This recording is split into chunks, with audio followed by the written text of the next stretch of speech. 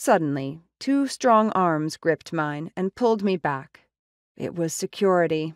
I felt a little proud, knowing that they protected him from me rather than me from him. The Mayu stumbled to his feet and wiped his large, toothy mouth with a small hand.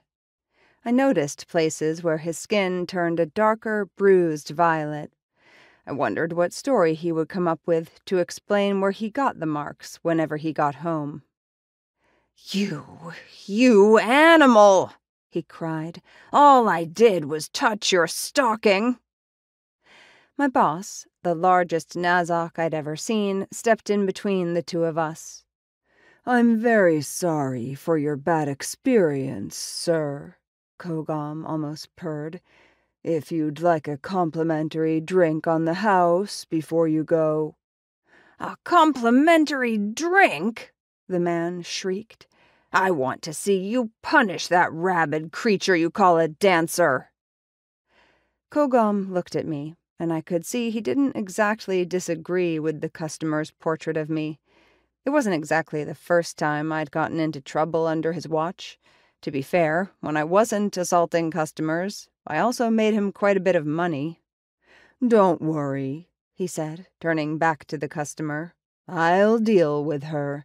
But, sir, it is against the rules to grab the dancers while they're on stage. Against the rules? The blue man spat back. Did you see what she did to me? Why, if your bumbling security oafs hadn't finally arrived when they did, she might have ripped me to shreds. Unfortunately, I didn't think my nails were strong enough to really make that true. Also, Tilks and Novar, who worked security at the club, were both great. No one would get torn to shreds on their watch. Usually I appreciated them, but at that moment, I wished whichever one of them was holding my left arm would stop twisting it so much. Like I said, we'll deal with her, Kogam said, obviously intending to worry me. It worked. But we also are going to have to ask you to leave. Well, see if you ever get my business again, the customer said.